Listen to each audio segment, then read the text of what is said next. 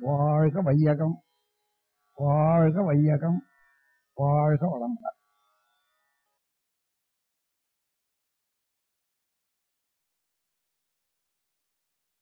வாழ்க வையகம். வாழ்க வையகம். வாழ்க வளமுடன். வேதாத்திரி சேனல் நண்பர்கள் அனைவரையும் சந்திப்பதில் பெருமகிழ்ச்சி வாழ்க வளமுடன். வேதாத்திரியத்தின் மறுபக்கம் என்ற சிந்தனை களத்தில் நாம் இன்று சிந்திக்கவிருக்கும் தலைப்பு நண்பர்கள். நட்பை பற்றி நாம் இன்று சிந்திக்கவிருக்கிறோம். ஆகஸ்ட் மாதம் முதல் ஞாயிறு அன்று உலக நட்- நண்பர்கள் தினம் வருது. இதை பற்றி மகரிஷியோட சிந்தனையாக நாம் எடுத்துக்கொள்வதில் இன்று அக்கறை செலுத்துகிறோம். பொதுவாக நமதோட வாழ் நம்மளோட வாழ்க்கை பயணத்தில் தலைவிதி அல்லது முதல் விதின்னு சொல்லக்கூடிய கருமைய பதிவுகளின் தகுதிக்கேற்பத்தான் தாய் தந்தை சகோதர சகோதரிகள் உறவு கிடைக்குது. ஆனால் குருவும் நட்பும் மட்டுமே நம்மை நாம் தூய்மைப்படுத்தி கொள்ள தூய்மைப்படுத்தி கொள்ள தானாய் தேடி வந்து வாழ்க்கையில் விலை மதிக்க முடியாத ஒன்றாக அமைகிறார்கள். இதுதான் நட்பில் கிடைக்கக்கூடிய மிகப்பெரிய வரம். அதாவது நம்ம உடல் உயிர் மனம் இப்போ எந்த ஸ்டேஜில் பார்க்குறப்ப அதில் எந்த மாற்றமும் உங்களால் உங்களோட சொல் செயலில் பண்ண முடியாது. ஆனால் உங்களுடைய எண்ணம் என்ற ஒரு அஸ்திரத்தை மட்டும் பயன்படுத்தி அதை முறைப்படுத்தி ஒழுங்குபடுத்துவதன் மூலமாக உங்கள் வாழ்க்கையவே மாற்றலாம்னு சொல்லக்கூடிய அந்த பேசிக் தாட்லேருந்து தான் இந்த விஷயம் ஆரம்பிக்குது. சரி. பொதுவாக நண்பர்களுக்கு கோல்டு ஸ்டாண்டர்ட் ஆஃப் ஃப்ரெண்ட்ஷிப்னு சொல்லுவாங்க அதாவது மாற்ற முடியாத விலை மதிக்க முடியாத ஒரு தன்மையாக ஃப்ரெண்ட்ஷிப்கான ஒரு கட்டமைப்பு சொல்கிறாங்க அதுக்கு a best friend listens but never judges helps you out of a jam tells it to you straight and often forgives a டெப்ட் அப்படிங்கிறாங்க. பொதுவாக நண்பர்கள் வந்து நம்முடைய விருப்பங்களையோ நம்மளுடைய முடிவுகளையோ பார்த்திங்கன்னா எந்த ஜட்ஜ்மெண்ட்டும் இல்லாமல் பொதுவான மனநிலையில் கேட்டு அதுக்கு எந்த அளவுக்கு ஹெல்ப் பண்ண முடியுமோ அந்த அளவுக்கு ஹெல்ப் பண்ணுறாங்க இன்னொன்று என்னென்னா முக்கியமாக நம்ம பிரச்சனைகளில் இருக்கிறப்ப அதிலிருந்து வெளியே வர்றதுக்கு நமக்கு உதவுறாங்க. மூணாவது மிக முக்கியமானது என்ன அப்படின்னு கேட்டிங்கன்னா நம்முடைய தவறுகள் நம்முடைய சரி எல்லாத்தையும் நேருக்கு நேராக சொல்கிறாங்க நம்முடைய தவறுகளை எப்போதும் மன்னிக்கவும் தயாராக இருக்காங்க. இப்படிப்பட்டவங்களில் வந்து நண்பர்களை நாம் எதிர்பார்ப்பதை விட நாம் அப்படி இருப்பது தான் முக்கியம் என்பது தான் இந்த சிந்தனையில் மிக முக்கியமானது. நம்மில் மிகச்சிலர் தான் இந்த தகுதியோடு பிறரிடம் நடந்து கொள்கிறோம். ஆனால் நமக்கான எதிர்பார்ப்பு இமயமலை அளவுக்கு எப்போதும் உள்ளே உட்கார்ந்துருக்கு சரி மகரிஷி என்ன சொல்கிறாங்க முதல்ல நண்பர்களை எப்படி தேர்வு செய்கிறதுன்னு மகரிஷி ஒரு அழகான ஒரு ஃபார்முலா கொடுக்குறாங்க. அறிவோடும் விழிப்போடும் நண்பர்களை தேர்ந்தெடுத்து கொள்ள வேண்டும். எப்படி? நட்புக்கோர் நோக்கமுண்டு நாடுபவர் தரம் ஒக்கும். கற்புலனு கெட்டாது கருத்தை ஊன்றி காண்பீர். உட்பகையை சுயநலத்தை உள்வைத்தும் நடிப்பார்கள். நுட்பமுடன் ஆராய்ந்து நோதல் தவிர்த்தே வாழ்வோம். நுட்பமுடன் ஆராய்ந்து நோதல் தவிர்த்தே வாழ்வோம். நம்மை நாடி வரும் ந- நட்புகள்கிட்ட அவங்களோட தரம் அவங்களோட நோக்கம் இதை எல்லாம் வந்து நம்மளுடைய புலன்களுக்கு அப்பால்பட்டு சிந்தித்து நட்பு கொள்ள வேண்டும்னு மகிழ்ச்சி சொல்கிறாங்க வெறும் வெளித்தோற்றம் பேச்சு நடவடிக்கை வச்சு முடிவு பண்ணிடக்கூடாது. ஏன் அப்படின்னா சிலர் வந்து பார்த்திங்கன்னா அவங்க சுயநலத்திற்காக பகை உணர்வு கூட வச்சுக்கிட்டு நம்மளோட பழக முயற்சி பண்ணுவாங்க நட்பு கொள்ள முயற்சி பண்ணுவாங்க. அப்படிப்பட்ட நட்பு வந்து பார்த்திங்கன்னா நமக்கு தீர்க்க முடியாத துன்பத்தை நமக்கு வாழ்க்கையில் தந்துவிடும். அப்படி ஒரு வாய்ப்பு இருக்குது அதனால் நட்பை நம் நட்பாக பார்க்காமல் கூடா நட்பின் தன்மை எப்படி இருக்குங்கிற அந்த கோணத்தில் ஒரு நட்பை தேர்ந்தெடுக்கும் முன்னாடி நாம் அதை பார்த்து பழகிட்டோம் அப்படின்னா ஆட்டோமேட்டிக்காகவே பார்த்தீங்கன்னா அந்த கூடாத நட்புக்கு வேண்டாத ஒன்று டூ நாட் டூ அப்படிம்பாங்கல்ல அந்த மாதிரி வேண்டாத ஒன்றை பண்புகள் இருக்கும் பட்சத்தில் அவங்கள அந்த நிலையோட எடுத்தோடனே நட்பு பாராட்டாம அவங்கள்ட்ட இந்தந்த தன்மைகள் வேண்டாத நட்புக்குரிய தன்மைகள் என்னென்ன இருக்குன்னு நீங்கள் ஆராய்ந்து அறிவோட விழிப்போட நீங்கள் அவர்களை தேர்வு செஞ்சிட்டிங்கன்னா எப்போதும் துன்பம் வராது.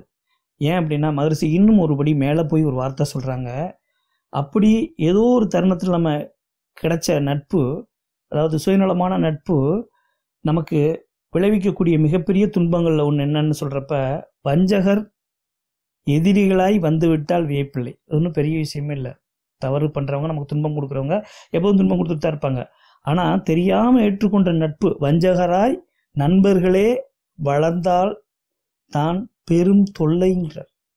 ஒருவேளை அந்த பெரும் தொல்லை நண்பர்களை வந்து ஆராயாமல் ஏற்றுக்கொள்கிறப்ப ஏற்படக்கூடியது அப்படிங்கிறாங்க மகர்ஷி. சரி எப்படிப்பட்ட நட்பை வந்து நம் பெறுவதற்கு நம்ம முயற்சி பண்ணணும் அப்படிங்கிறாங்க.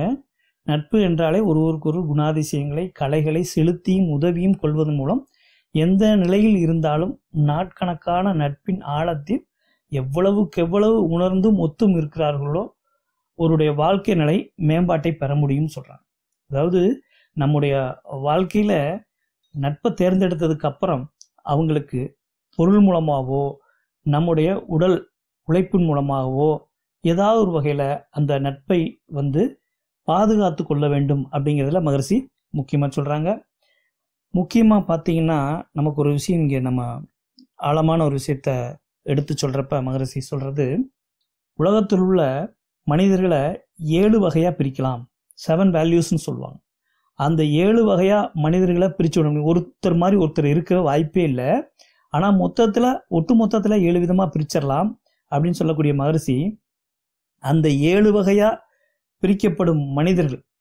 அவங்க அப்படி உருவாகிறதுக்கு பதினாறு காரணங்கள் சொல்கிறார் அதில் பதினோராவது காரணமாக நட்பை சொல்கிறார் மகரிஷி. சந்தர்ப்பவசமாகவோ வேண்டி விரும்பி பெற்ற நட்பு நம்முடைய வளர்ச்சிக்கு உதவியாக இருக்கும்.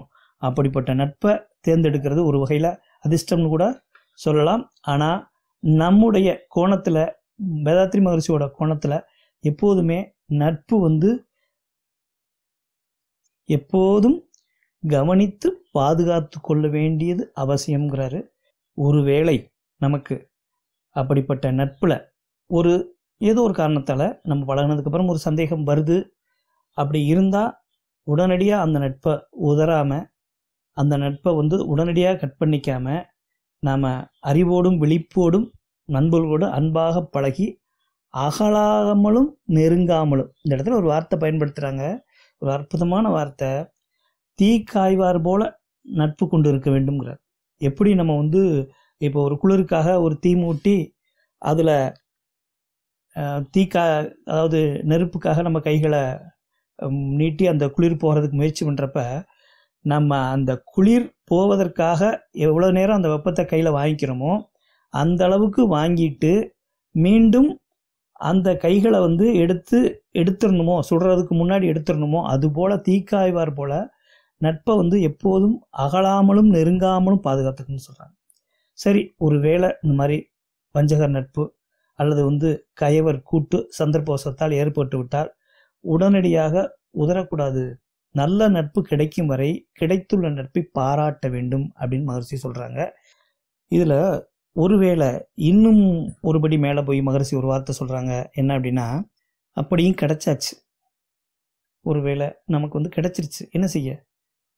அவர் கொடுத்துருக்கிற ஒரு அற்புதமான பிரம்மாஸ்திரம்னு சொல்லுவாங்களே அந்த மாதிரி மகரிஷி கொடுத்துருக்கிற அந்த தன்மை அந்த வாழ்த்து நமக்கு இந்த இடத்துல அந்த நட்பை துன்பம் இல்லாமல் தொடர்றதுக்கு மிக உதவியாக இருக்குது எப்படி?